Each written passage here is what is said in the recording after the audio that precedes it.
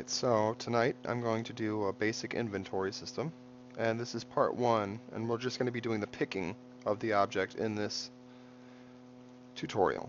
So I'm going to duplicate the default cube and scale it by 0.5 in edit mode and then move it up 1.5 units. So now it's like it's sitting on top of this other cube. And I'm going to turn it to a rigid body so it'll have physics and set it to a cube bound and then set the default cube to a cube bound. Then I'm going to grab the camera object. I'm going to add the logic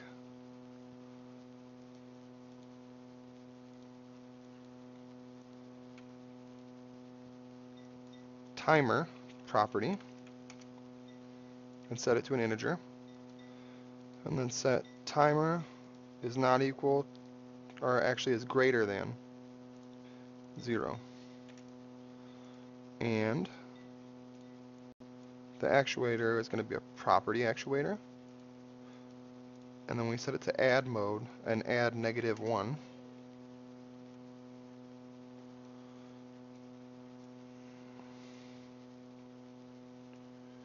And then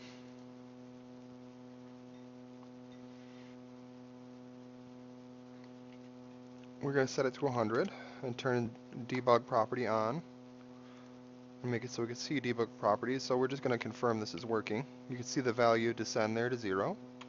So now we've created a timer system that we're going to be using for the rest of the picking.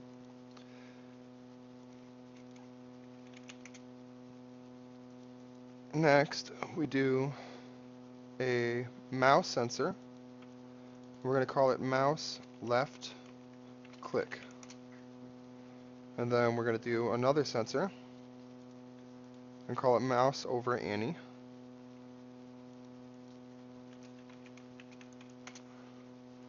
And then a Python controller. And then I'm going to open a text editor.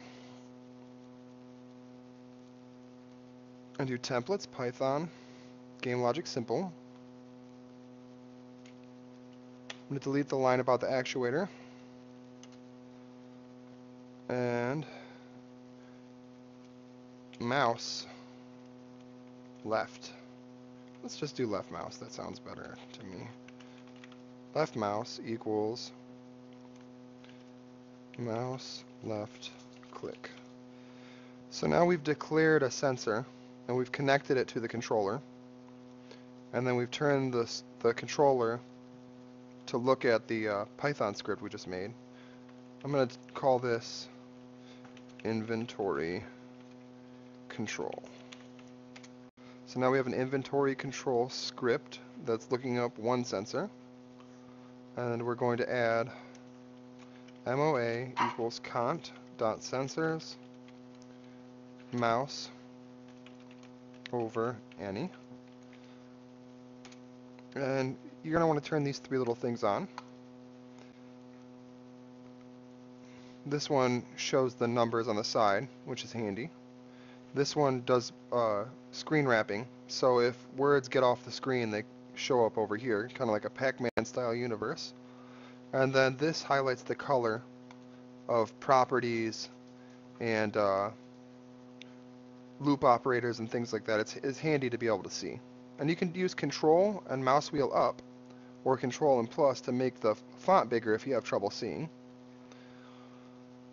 So we're going to do if timer, or sorry, own timer, that's this property, equals equals 0, and left mouse dot positive and MOA dot positive print MOA dot hit object. So now when I trigger this script, it's going to print uh, the name of this object once or more times. here, we're going to have to turn this integer timer back to zero to start out on zero. And then we can display the mouse cursor right here, or you can use a logic brick like this. Always, and I have it set to run once. And then mouse, visibility visible. So now this will make the mouse cursor pop up on the screen.